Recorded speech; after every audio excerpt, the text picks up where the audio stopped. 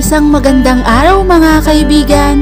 Narito na naman po si Shenshen TV na magbabahagi sa inyo tungkol sa kwento ng pag-ibig.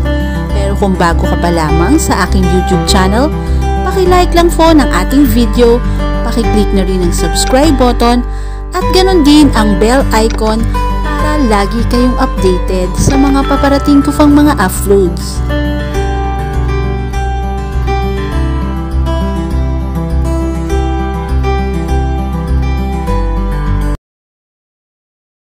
Ikaapat na kabanata. Sinusundan pa rin siya nito na para bang isa itong pusa. At isa naman siyang daga na gusto nitong hulihin at paglaruan. She was not helpless. Pero ayaw naman niyang magkasakitan pa sila. Plus, hindi naman bodyguard sighted si Luis. Malaki pa rin ang katawan nito. Oh God! Bakit naman sa lahat ng gabing wala siyang bodyguard sa kapa ito nangyari?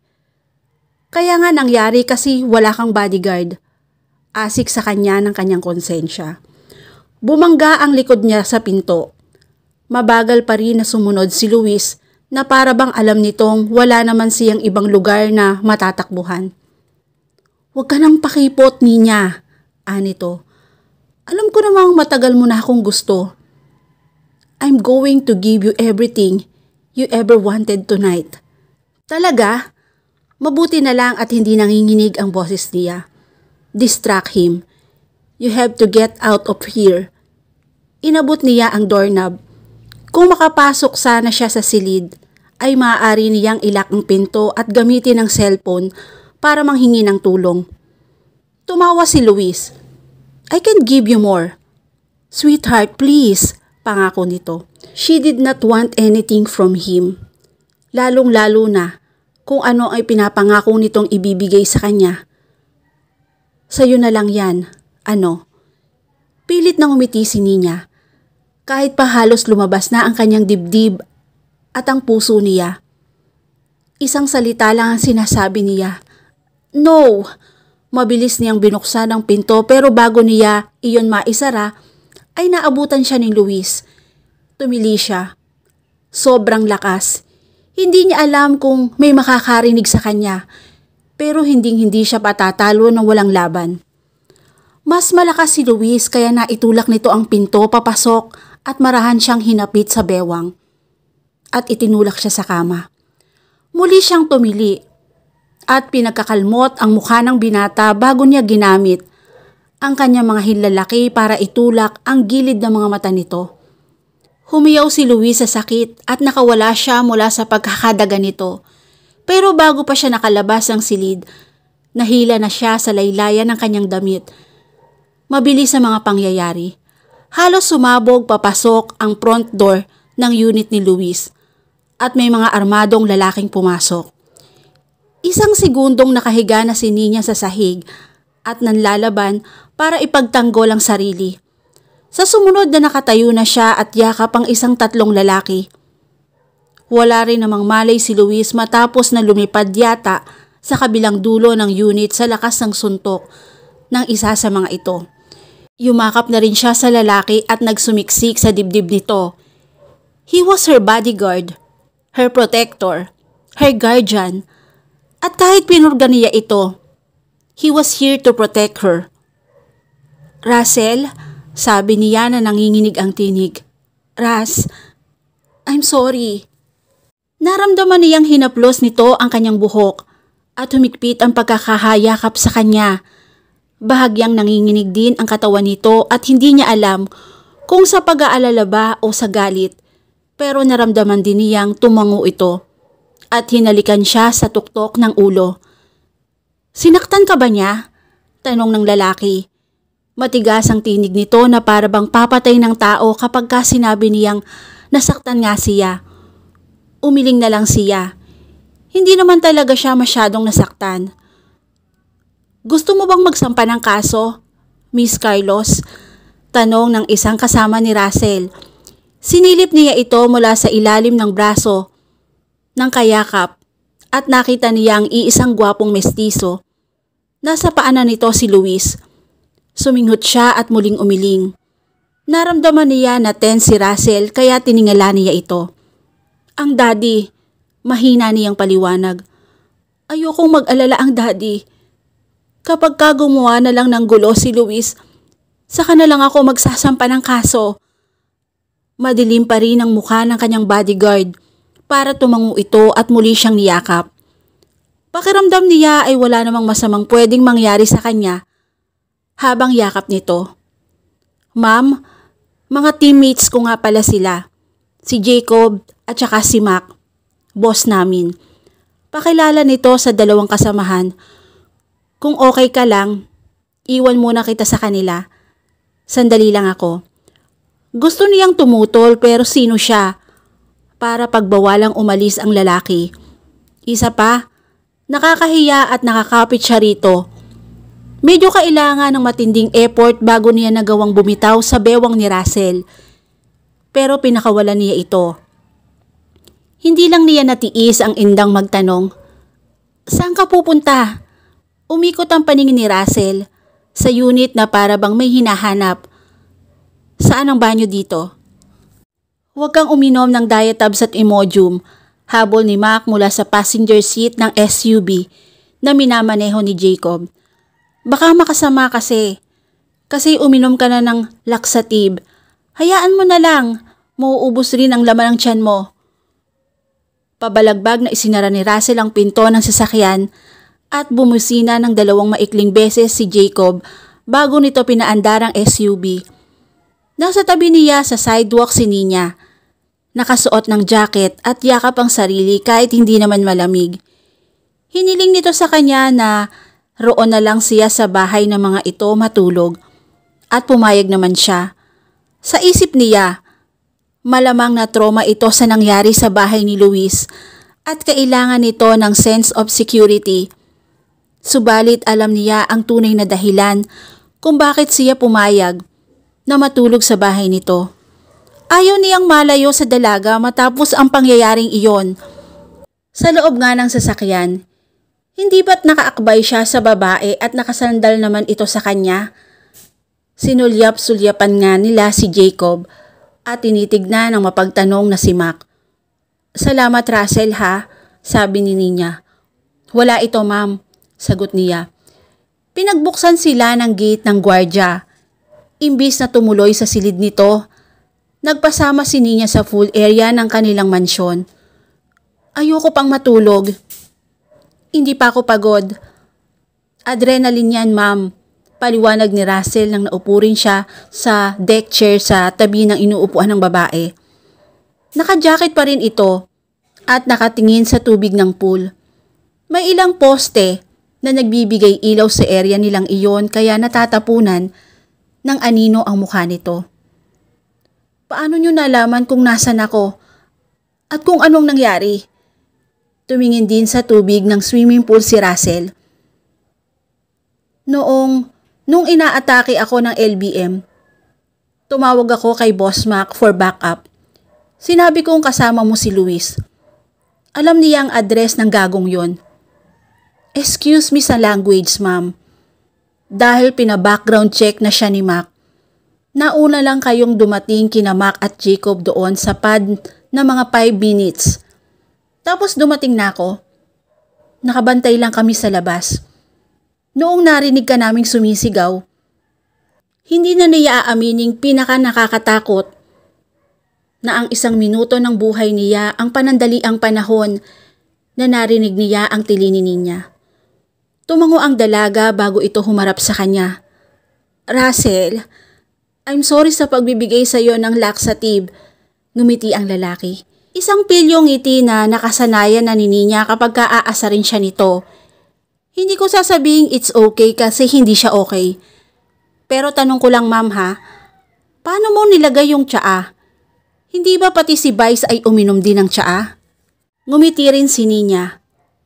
Actually, hindi yung tsaa yung may laxative Nagdikdik ako ng antiox tapos nilagay ko sa tasa mo. She had the grace to blast. Tapos, kinuntsaba ko si Ilona. Siya yung maid na nagdala ng tsaa sa office ni daddy. Ayun, nainom mo nang hindi mo namamalayan. Mahina nitong sinipa-sipa ang kanyang binti. Sorry na, hindi na ako uulit. Noon sumagi sa isipan ni Russell na maaari ngang pinainom siya ni Ninya ng pampurga. Nagalit siya rito ng ilang segundo bago siya inatake ng matinding pag-alala. Kasama ng ibang lalaki ang dalaga. At wala siya roon para bantayan ito. At hindi lang iyon, inatake rin siya ng matinding selos. Sasama sa ibang lalaki ang kanyang sininya. Nung una assignment lang niya ang dalaga, pero hindi nagtagal na natanggal na ang salitang assignment kapag kakasama niya ito. Hindi rin niya alam kung kailan nagbago ang tingin niya rito. Siguro mula nang binilihan siya nito ng pagkalaki-laking hamburger dahil alam nitong hindi pa siya kumakain. Pero kay Russell, hindi niya pwedeng kalimutan na assignment nga lang niya ito at hindi niya maaaring pagnasahan. Napaka-unprofessional niyon. Isa pa, ang layo na agwat nila. Anak ito ng Vice President ng Republika ng Pilipinas. At siya naman ay isang dating sundalo na nagtatrabaho bilang bodyguard, well security specialist. Kumbaga sa Starbucks coffee, ito ay siya ay Nescafe 3-in-1. Hotshot plain grilled burger si Nina. Siya naman ay Jollibee regular yam. Kung popormahan niya ito, hindi lang siya mawawala ng trabaho. Sisipain pa siya ni Mac pabalik ng Mindanao. Mabuti kung pati sa Mindanao pabalikin pa siya. Baka ipa-exile pa siya ng ama ni niya sa ibang bansa. Sige na nga, biro niya. Okay na nga. Apology accepted, ma'am. Alam mo, okay lang kung hindi na ma'am eh. Ang itawag mo na lang sa akin ay Ninya. Ninya na lang, tama. Malungkot siyang umiling. Pasensya na po. Under normal circumstances po. Okay lang pong tawagin ko kayong Ninya pero mas mabuti na po yung hindi. Alam niyang hindi sang-ayon doon ng babae. Pero bumuntong hininga ito at tumango. Okay, pero kwentuhan mo ko. Gusto kitang makilala, Russell. Ano pong ikikwento ko sa'yo? Nagkibit si Ninya ng balikat. Ilang taon ka na? Saan ka nag-aral? Bakit naisip mong maging bodyguard? Security specialist. Automatic na pagtatama niya rito. Nakasanayan na niyang gawin iyon. Hindi lang ako bodyguard, security specialist ako. Mapanuksong ngumiti si niya. Okay. Bakit mo naisip na maging security specialist? Dati akong sundalo, simula niya. PMA ako sa Mandala Class of 2016. Marine Lieutenant po ako noon tapos na-assign ako sa Mindanao. Sinulya pa niya ang babae pero nakatingin lang ito sa kanya at nakikinig. May nangyari doon at napaisip sa akin kung gusto ko pa bang maging sundalo o hindi. Tapos pinuntahan ako ng isa pa naming boss na si Cameron. Binigyan niya ako ng job offer kung gusto ko daw sumama sa kumpanya nila. Hindi na ako nagdalawang isip. Ano nangyari sa Mindanao? Napangiwi si Russell. Ikukwento ba niya kay Ninya? Kaya bang tanggapin ng dalaga ang nakaraan niya? Hindi naman siya hard killer, pero wala siyang karapatang magmalinis dahil may bahi din ng dugo ang mga kamay niya. Basta, hindi maganda. Inabot nito ang palad niya. Hindi na niya napansing nakakuyom na pala. Pinilit niyang marelax hanggang sa binaliktad na niya ang kanyang kamay at nakadikit ang mga palad nila ni Ninya. Ang dalaga na ang nagsalikop ng kabilang kamay. Gusto kong malaman. Pilit nito. Ngumiti si Russell at hindi na niya pinigilan ang sarili sa gustong gawin. Iniangat niya ang kamay ni Ninya at hinalikan ang mga daliri nito. Sa ako na lang po ikikwento ma'am, nakangiti niyang saad. Ikaw muna ang magkwento. Bakit galit ka sa bodyguard mo? Muli itong nagblast.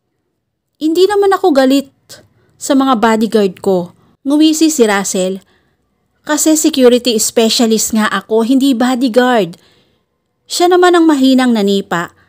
Ngunit siniguro niyang halos haplos lang sa paa ang nararamdaman nito.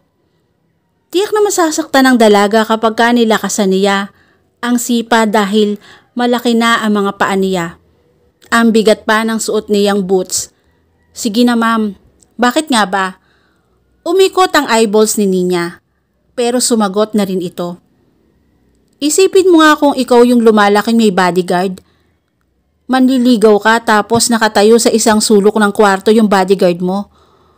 O kasama siya sa first date mo Mabuti pa noong babae pa, yung bodyguard ko. Naiintindihan niya ang ibig sabihin ng privacy. Kayong mga lalaki, ang alam niyo lang maging macho. Tumawa siya sa tinuran iyon ni Ninya. Oy ma'am, hindi naman ako malaking hadlang sa love life mo. Umira pang dalaga. Anong hindi? Kung dati nga hindi na ako lapitin ng lalaki, paano pa kaya ngayong alam nilang may higanting nakabuntot sa akin? Nagtaas ng isang kilay si Russell. Hindi kalapitin ng lalaki. Umiling ito at inayos ang upo para maitaas ang paa sa deck chair. Sumandal na rin ang dalaga. Hindi ko alam kung bakit. Sagot nito na may maliit na ngiti. Siguro dahil sa bodyguard ko at kung ano ang ginagawa ko sa bodyguard ko. A lot of people also think that I'm shallow. Alam mo ma'am, hindi niya napigilang sabihin. Hindi naman importante kung ano ang tingin ng tao sa'yo. Ang importante ay kung ano ang tingin mo sa sarili mo at kung ano ang tingin sa'yo ng mga taong mahal mo. Pinagmasdan siya ni Ninya at hindi rin niya inalis ang pagkakatitig sa mga mata nito. Alam mo, sabi nito, hindi talaga ako maldita.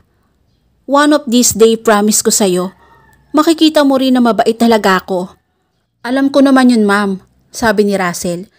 Mabait naman talaga kayo kung hindi ko nga papansining pinurga niyo ko. Muling nagblas ang dalaga at malakas na tumawa si Russell. Joke lang ma'am. Pabirong dumila si Ninya bago umayos ng pagkakahiga at pinagmasdan ang langit. Unti-unti itong pumikit hanggang sa nakatulog na ito. Pinagmamasdan pa rin ito ni Russell She looks so small and indefinitely precious. At ipinapangako niya na hindi na mauulit ang nangyari nito. Kung kinakailangang hindi siya matutulog, mabantayan lang ito. Kinabukasan nagising si Ninya na nasa kanyang silid. Hindi niya maalalang umakyat siya roon dahil ang alam niya, nakatulog siya sa pool area kasama si Russell. Napabalikwas siya at siniyasat ang kanyang silid Suot pa rin niya ang damit na suot ng nakaraang gabi, maliban sa sapatos. At nakabalot siya ng kumot.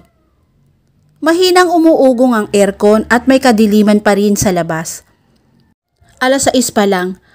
Ayon sa kanyang alarm clock pero parang energized na siya. Halos patalon siyang umibi sa kama at dumiretso sa banyo para mag-shower at magbihis. Gusto niyang mag-thank you kay Russell sa pagsagip nito sa kanya kay Luis noong nakaraang gabi. At muli, gusto niyang magsorry sa pagpapainom rito ng pampurga. Okay na kaya siya? Okay na kaya ang tiyan niya? Pababa siya ng hagdanan nang makitang nasa pinto na ito at pinapasok ni Ilona. Nakasuot ito ng kulay gray na long sleeve, button down shirt. Antak alam niyang iyon na ang uniforme nito para hindi mahalata ang baril na nakalagay sa holster nito. Naka-jeans ang binata at naka-Nike. Basa pa ang buhok nito na parang kagagaling lang nito sa shower. Tumingala si Russell at nakita siya sa hagdanan. Sumilay ang isang mabagal ng ngiti mula sa mga labi nito. At nakadama si Ninya ng kakaibang kuryente sa kanyang katawan. Iyon yata ang unang-unang tunay ng ngiting ibinigay sa kanya ni Russell at lalong tumingkad ang kagwapuhan nito. Imbis na tumakbo pababa ng hagdanan na siyang gusto niyang gawin, naglakad siya ng mabagal hanggang sa nakatayo na siya sa harapan nito. Good morning Russell, bati niya. Good morning ma'am, tugon nito. Hinawakan niya ang braso ng binata at hinila ito papuntang kusina. Samahan mo ako mag-breakfast Ma'am? Tawag ni Ilona. Pasensya na po. Wala pa pong almusal. Namalengke po pa kasi si Nanay Lydia. Hiyang-hiya nitong sabi. Eh hindi po ako marunong magluto. Napakurap si Ninya bago tiningala si Russell. Hindi rin siya marunong magluto. Okay lang, kung kape lang ma'am. Ana ng lalaki. Nang makitang nakatingin siya rito, mapanukso itong ngumiti. Basta ako magtitimpla. Napahagik-gik siya ng pino at saka ito kinurot. Ano bang mahirap sa pagluluto ng almusal? Tanong niya at nagpatiuna sa kusina. Bumalik si Ilona sa paglilinis sa sala at sinimula niya ang paggawa ng kape sa coffee maker. Pinaupo niya si Russell sa upuan sa breakfast table sa isang banda ng kusina bago sumilip sa laman ng rep. Okay lang talaga ma'am, pahabol ng binata. Hindi mo kailangan mag-abala. Nagugutom din naman ako, sabi niya bago tumawid. Hawak na ang isang pakete ng tosino. Marunong ako magluto, banggit ni Ras. Bigla siyang napabaling dito. Nakaupo pa rin ito sa breakfast table. Pero nakangiti na ang pilyo sa kanya. Nang almusal, sinulya pa nito ang hawak niyang tusino bago tumango. Kahit dinner pa ma'am, at kahit anong putahe, maya-maya pa ay nakasalang na ang tusino sa isang kawali habang nagigisa ng bawang si Russell. Nakasuot pa ito ng bulaklaking apron. Nakatayo lang siya sa tabi ng binata habang pinapanood ito at sinisinghot-singhot ang amoy ng bawang. Ang bango, sabi niya. Alam mo, sabi ni Nanay Lydia kapag ka mabango daw ang nilulutong bawang, mabait daw ang magiging biyanan nung nagluluto. Natawa ang binata at hininaan ang apoy ng kalan. Ganito naman talaga ang amoy ng bawang ah. Hindi. Sabi ni Ninya, lumayo siya sa binata para simulang idoktor ang kape nila. Kapag ka si Nanay Lydia kasi ang nagluto parang amoy sunog ka agad, sabi niya. Demonya raw ang biyanan niya. Humagik-gik siyang muli. Dinala niya sa binata ang tasa nito at muli siyang tumawa. Nang makita niya ang agam-agam sa mga mata nito, bago sumipsip ng kape. Kumusta na pala ang tiyan mo? Tanong niya. Okay na, sagot ni Russell. Puro Gatorade na nga ang laman. Muli siyang nagigilty pero kinindatan siya ng binata para sabihing nagbibiro lang ito. Natuto siyang gumawa ng Yang Chow fried rice mula sa binata. At iyon na yata ang pinakamasarap na almusal sa kinain niya. Pati ang daddy niya, si Nanay Lydia at si Ilona ay nakakain at tumanggap nang sandamakmak na papuri si Russell na mahiyaing tinawanan lang nito. Buong umaga niya ito pinanood ng palihim at sa umagang iyon, may ilang obserbasyon din siyang nagawa tungkol sa binata. Maloko ito pero may laman ang mga sinasabi. Matalino, di mapagmata. Pero wala pa rin siyang alam tungkol sa personal nitong buhay. At gusto niyang ito ay makilala ng lubusan. Sa library sila nagtungo matapos ang almusal. May homework na kailangan gawin si Ninya at wala naman daw gagawin si Russell. Kaya okay lang na nandun na rin ito. Nagbukas ng laptop ang dalaga at naupo sa mesa. Habang sa sopa naman naupo ang lalaki na may hawak na isang kopya ng Angels and Demon ni Down Brown. Hindi nagtagal nakakunot na ang concentration ang noon ni Russell dahil sa librong binabasa pero hindi naman makapagtrabaho si Ninya. Sobrang distracting ang presensya ng binata sa silid. Hindi niya mapigil ang pasulyap-sulyap dito kaya wala pa siyang nagagawa sa programa na kailangan niyang ites. Bakit parang ang bango-bango nito? Kahit ngayong dapat ay amoy kusina ito dahil nagluto ng almusal. Gusto pa rin niyang tumabi rito. Mag-curl na parang pusa sa tagiliran ng lalaki at amoy-amoyin ang legs nito. Tumikim ang kasama at lumipad ang mata niya sa mga mata nito.